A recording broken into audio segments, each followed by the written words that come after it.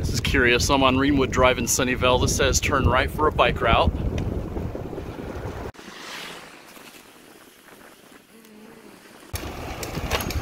And it looks like I'm gonna get on the Calabasas Trail.